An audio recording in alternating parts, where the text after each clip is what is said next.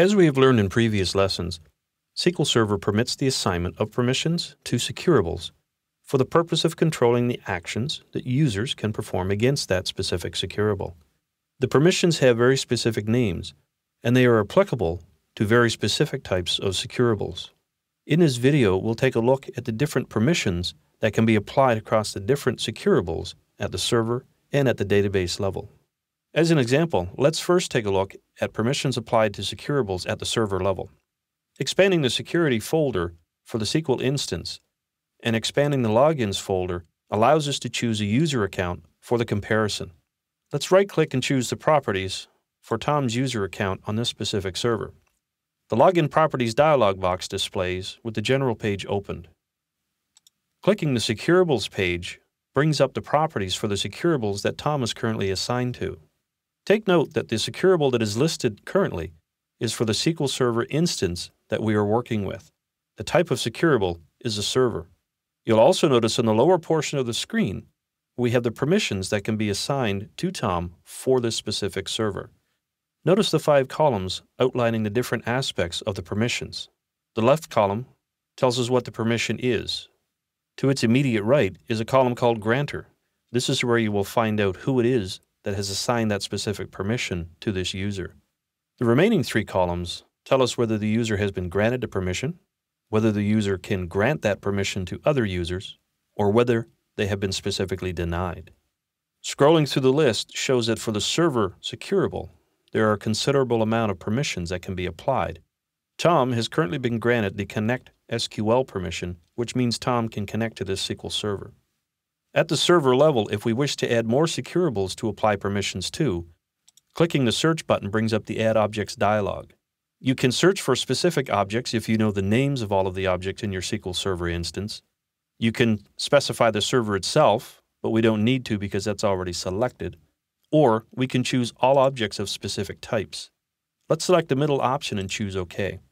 The available object types at the server level are the endpoints, logins, servers, availability groups, and server roles. If we wish to grant Tom some specific permissions to the endpoints on the server, we would select the checkbox for endpoints and click OK. Notice that now that we have selected those objects, the available endpoints on our SQL Server instance are available in the Securables dialog box.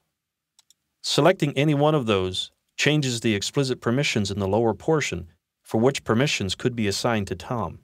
Notice that they are considerably less compared to when we had the server itself. Let's cancel out of this and go take a look at some of the securables that are available at the database level. Expanding the master database and the security and users folders allows us to get to the user for Tom in the database itself. Again, right-clicking and choosing Properties brings up the database user properties for Tom. The Securables page is where we have the option to choose the securables at the database level for permission assignment to Tom. Clicking the Search button brings up the Add Objects dialog, and now we can go through the process of specifying the types of objects or database securables that we wish to assign permissions to. Once again, specific objects are available if you know the names of them. We can also choose all objects of specific types, or we can choose all objects that belong to a specific schema by selecting that radio button and choosing the schemas from the database. Let's go ahead and select the middle option one more time for all objects of a specific type and click OK. In this instance, we want to check to see what permissions we could assign to Tom on the tables in the database itself. Remember, a table is a securable at the database level. Choosing OK, the list of tables will populate in our securables portion of the dialog box. Selecting any one of these tables will allow us to specify in the lower permissions dialog box what permissions we wish Tom to have. Note that these are table-based permissions.